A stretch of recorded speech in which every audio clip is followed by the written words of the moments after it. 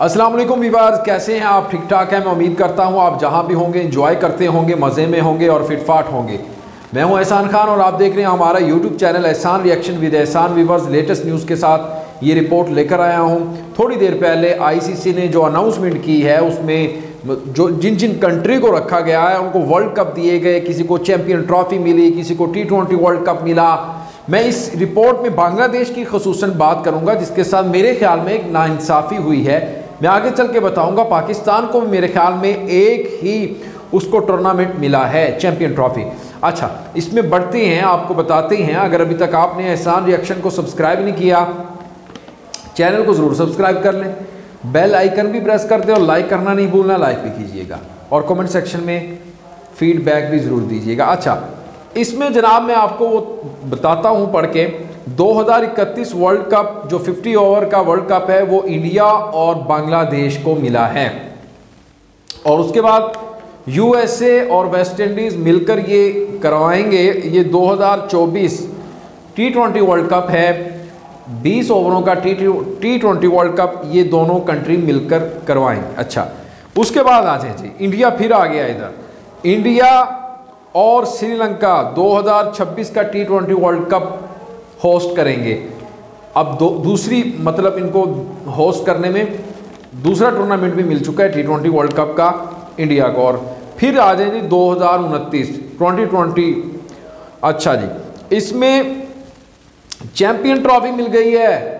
India को जिस तरह पाकिस्तान को 2025 में चैंपियन ट्रॉफी मिली है, इसी तरह होस्ट करने के लिए दो हज़ार उनतीस में इंडिया को चैंपियन ट्रॉफी भी मिल चुकी है। मतलब एक, दो, तीन मतलब तीन टूर्नामेंट मिल चुके हैं वर्ल्ड कप मिल चुके हैं, एक चैंपियन ट्रॉफी और एक टी ट्वेंटी वर्ल्ड कप और एक 50 ओवर वर्ल्ड कप जो बांग्लादेश के साथ मिलकर 2031 में होगा।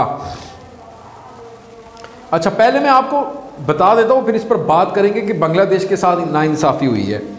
उसके बाद जनाब 2027 में वर्ल्ड कप मिला है साउथ अफ्रीका नबीबिया और जिम्बाब्वे ये तीन कंट्री मिलकर करवाएँगे। फिर उसके बाद ऑस्ट्रेलिया और न्यूजीलैंड 2028 में ऑस्ट्रेलिया और New Zealand T twenty world cup मिलकर करवाएँगे।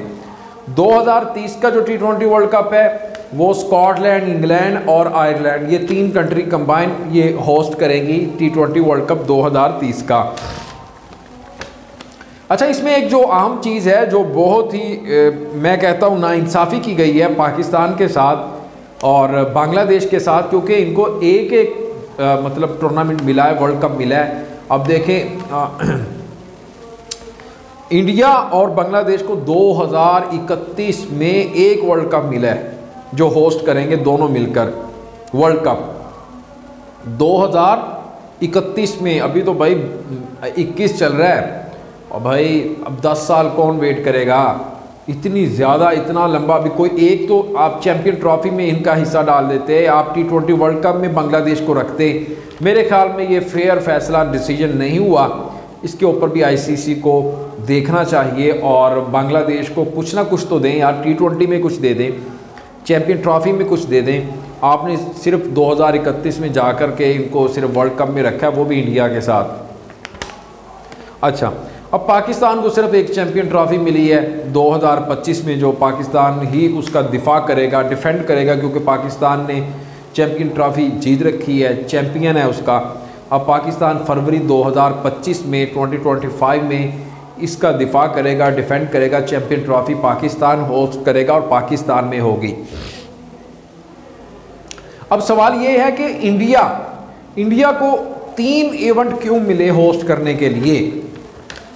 कुछ हमारे दोस्त कह रहे हैं कि जनाब जो इंडिया है ना वो फंडिंग बहुत करता है वो पैसा देता है आईसीसी को बहुत ज़्यादा नो डाउट देता है। उनकी जो क्रिकेट की जो इंडस्ट्री है वो बहुत बड़ी इंडस्ट्री है। आ, तो इसलिए फिर ज़ाहरी बात है आईसीसी को भी देखना पड़ेगा। जो उसको पैसा कंट्री ज़्यादा देता है कोई बट मेरे ख्याल में ऐसा नहीं होना चाहिए। ये ये ये जो फैसला है कि इंडिया को आप तीन मतलब दे रहे हैं और पाकिस्तान को एक होस्ट करने के लिए इवेंट मिल रहा है और उसके साथ साथ बांग्लादेश के साथ मेरे ख्याल में बहुत ही ज़्यादा नाइंसाफ़ी है। आपने उन्हें दो हज़ार इकतीस में वो भी इंडिया के साथ मिलकर 50 ओवर का करवा रहे हैं। इंडिया को आखिर क्यों तीन इवेंट दिए गए हैं होस्ट करने के लिए? ये सवाल है। और ये सवाल तो अब चढ़ सर सर चढ़ कर बोलेगा और हर बंदा ही ये सवाल करेगा, क्योंकि आप देखें कि आईसीसी टी ट्वेंटी में फ़ैसले ठीक नहीं हो रहे। फैसलों की बात करें, अब देखें पाकिस्तान के बाबर आज़म ने सबसे ज़्यादा रन बनाए, लेकिन उनको मैन ऑफ़ द सीरीज़ नहीं दिया गया मैन ऑफ़ द टूर्नामेंट मतलब वर्ल्ड कप का बेहतरीन खिलाड़ी उन्हें नहीं करार दिया गया और डेविड वार्नर को दे दिया गया। ये देखें, नाइंसाफ़ी है, ये ज़्यादती है बाबर आज़म के साथ। इंडिया होस्ट कर रहा है वर्ल्ड कप और फिर जो ज्यूरी बनाई जाती है, जो फैसला करती है, वो भी कोई इतनी ठीक नहीं है। और फिर आपने देखा कि बाबर आज़म के साथ नाइंसाफ़ी है, लेकिन अल्लाह जिसे इज़्ज़त दे, फिर बाबर आज़म आईसीसी के कैप्टन बन गए हैं, जो आईसीसी एक वर्ल्ड कप की टीम बनाई है। उसमें बाबर आज़म को खैर उन्होंने कैप्टन बना दिया गया है। लेकिन विवर्स, ये जो न्यूज़ आई है इसमें अब आपका क्या कहना है? आपने भी इसके ऊपर फीडबैक देना, आपने बताना है कि क्या ये जो फैसला है आईसीसी का, क्योंकि जो बांग्लादेश है, उसको सिर्फ़ एक इवेंट दिया, वो भी 2031 बहुत दूर है अभी, बहुत अरसा टाइम पड़ा हुआ है। और पाकिस्तान को भी एक मिला है 2025 में। चलो, पाकिस्तान में तो खैर पहले क्रिकेट आ नहीं रही थी, अब आई तो है, कुछ तो उम्मीद हुई। खैर, ये तो अच्छा साइन है पाकिस्तान के लिए, पाकिस्तान क्रिकेट के लिए, क्योंकि अब पाकिस्तान में क्रिकेट होने जा रही है। 2025 में अब तमाम टीमें पाकिस्तान का रुख करेंगी।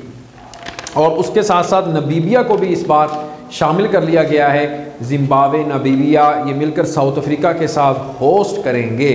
और यूएसए को भी लिया गया ये भी बहुत अच्छी बात है। क्रिकेट के अंदर इनको शामिल कर लिया गया है।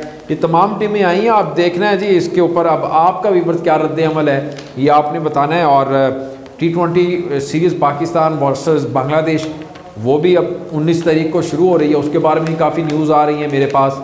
और जिस तरह से चार नए लोगों को, नए खिलाड़ियों को यंगस्टर्स को लेकर आए हैं स्क्वाड के अंदर, ये बहुत ही अच्छी बात है।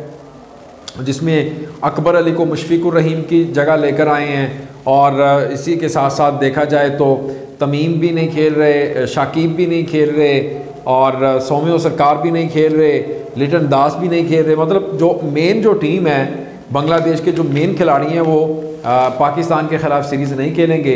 तो ये नए खिलाड़ियों के साथ मैदान में उतरेगी बांग्लादेश की टीम मेरे ख्याल में बांग्लादेश ने बड़ा फ़ैसला, मैं कहता हूँ, बहादराना फ़ैसला किया है डिसीज़न किया है कि वो अपने नौजवान खिलाड़ियों को मौका दे रहे हैं कि वो आकर परफॉर्म करें।